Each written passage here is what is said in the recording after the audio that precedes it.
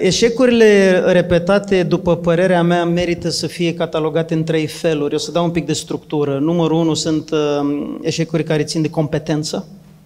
Și acolo răspunsul este nu ai învățat încă destul, ia-ți un coach, un mentor, un trainer, un monitor dacă faci ski și învață împreună cu el pentru că îți va accelera procesul.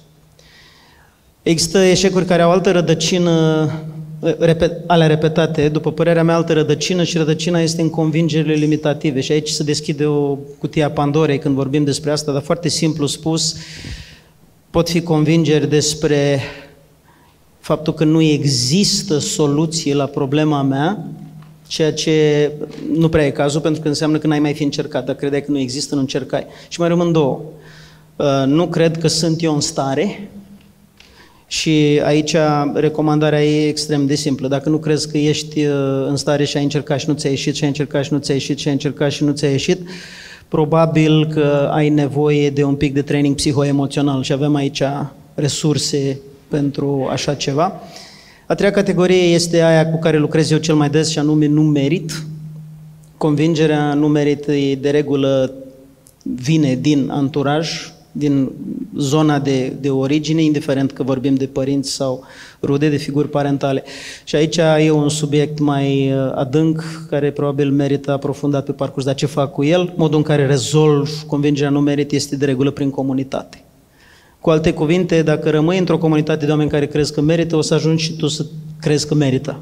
Asta e ce m-am convins în 20 ceva de ani de când fac asta, că este metoda sigură. Dar ideea este că oamenii nu rămân în comunitățile respective dacă ei cred că nu merită, să auto-exclud.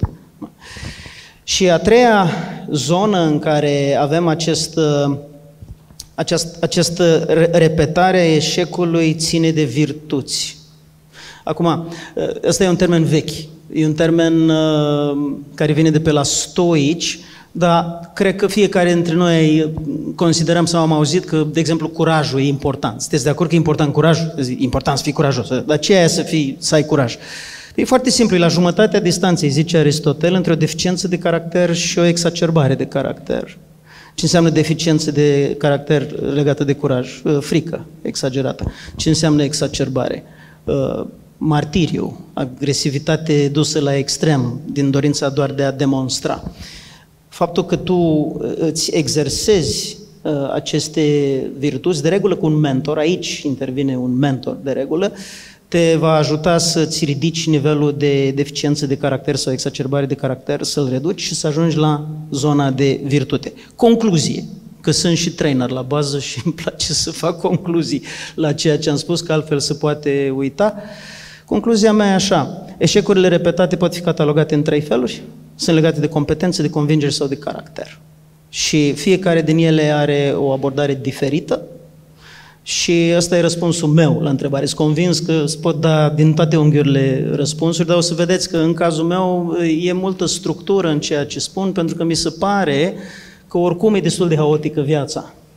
Și atunci, uh, uh, pe parcurs, probabil că asta veți constata, că o să vin cu niște elemente de structură, că așa funcționează mintea mea. Dar nu înseamnă că nu sunt uh, de acord cu ideea că se poate aborda prin emoții sau prin energie sau prin o abordare transgenerațională și așa mai departe.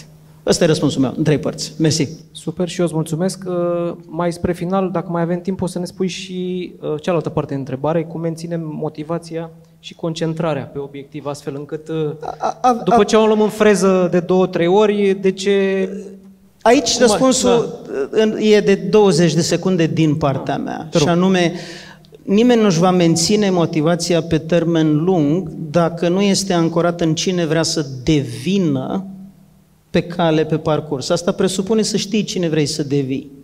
Și una din marile probleme ale societății de azi, dar nu numai de azi, e exacerbată azi prin faptul că ne este distrasă atenția în foarte multe părți, e ceea ce observa Mark Twain.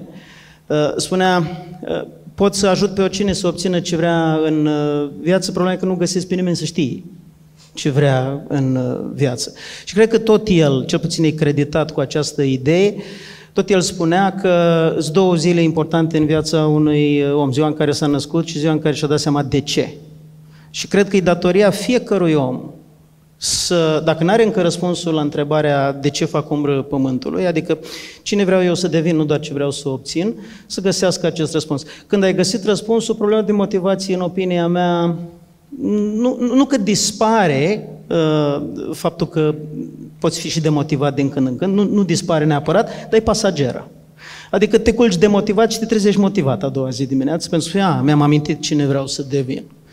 Atât.